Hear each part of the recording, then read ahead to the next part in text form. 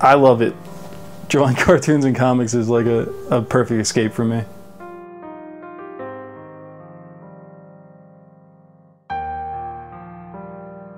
The one and only Noah Van Sciver, cartoonist, comic strip artist, and illustrator.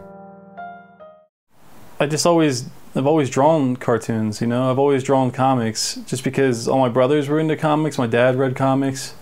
So they're just always around the house. It just felt like a natural thing to do. Yeah, I just I've always done it. Cartoonist comes in the family, learning after his brothers and striving to get better every day. Illustrating comics since 2006 to present time, creating real-life stories through comic strips.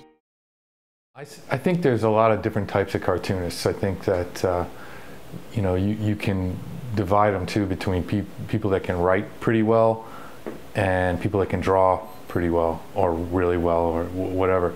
Uh, I think Noah is one of those guys that can do that does both really well. I think he can he draws amazingly and he does an amazing amount of work too. Um, but his writing is great. Publisher of alternative comic book series Blammo and weekly comic strip Four Questions that appears in Westword newspaper. There's this comic book called Eightball that came out in the 90s that was kind of like Blammo with just a mix of short stories and, and comic strips by one person. And uh, I was always inspired by that because I think that the best art is the best art comes from a singular vision. It's one person who like has like a dream and they, they just create it all themselves and every little piece is all from them. That's always the most interesting art i think than a collaborative effort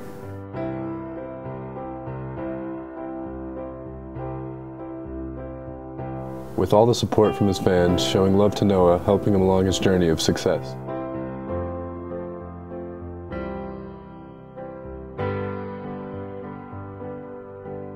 Making new memories and stories through comics every day, Noah Van Sciver will create a world of cartoons.